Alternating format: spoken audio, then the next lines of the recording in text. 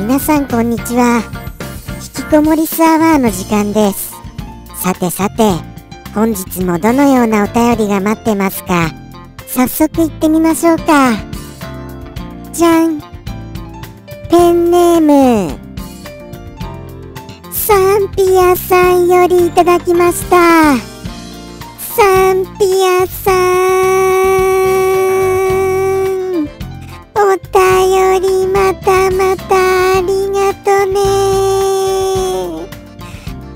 ても嬉しいですから。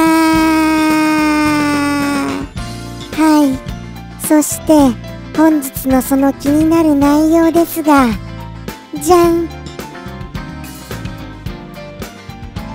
わあ本当ですよ。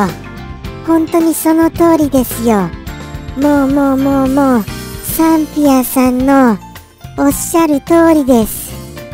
そうですね。まあなんて言いましょうか。あと数日もすれば2020年が終わりますよというようなそういった一言となっております。はい。あー怖いな。もう今年終わりですか。あの正確にじゃああのその回数数えてみましょうかね。いきますよ。えーと今日が28日ですから28 29 30 31ということでしてサンピアさんのお一言の回答から言いますと4回です。あと4回ですよ。4回ですよ。早いな。もうもう。今年が終わってしまいますよ皆様はどうですか？あの今年やり残したことなどございませんか？あの僕はですねなんだかいろいろ本当にあの作者さんから言われているいろいろなことをやり残してしまったそんな気がしてなりませんよ。そうですね。ああ思い起こせばあれもしてませんしああこれもしてません。わあそしてそれもしてませんよ。どうしたらいいんですか？全くしてないことだらけじゃないですか。とは言ってもですよ。でも考えてみてください。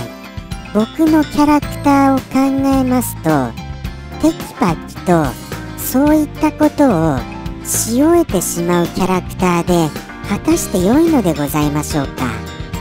いや違いますよね。あの僕のキャラクター的にはむしろいろいろなものをやってしまってはなりませんよね。そこら辺どうなんですか？あの僕の持って生まれたキャラクターとやはりあの僕の頑張ろうっていう気持ちとが相反するものなんですよ。ですからあの僕は思ったんです。頑張ろうというような気持ちを持っていても頑張ってはいけないキャラクターなんだっていうことがはっきりと僕は分かったんですよ。ですから泣く泣くですよ。泣く泣く僕はこうしてちょっとダメなキャラクターを演じ続けなければいけないということに僕は気づいたんですよ。気づいたんですよ。なんてこった。悲しい宿命です。そんな宿命を背負っていること皆様もあのご理解いただけると嬉しいです。本当はめちゃくちゃ頑張りたい気持ちのある僕なんですよ。はい。こういうキャラクターだからこうしているだけなんですよ。すみませんね話が脱線しまして。ということでしてあのサンピアさんからのお一言言ってみましょうか。ではでは行きますね。サンピアさんよりの一言。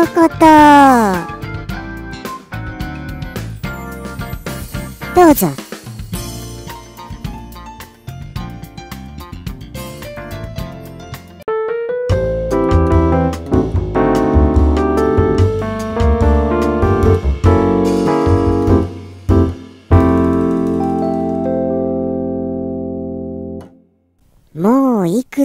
ると、2021年。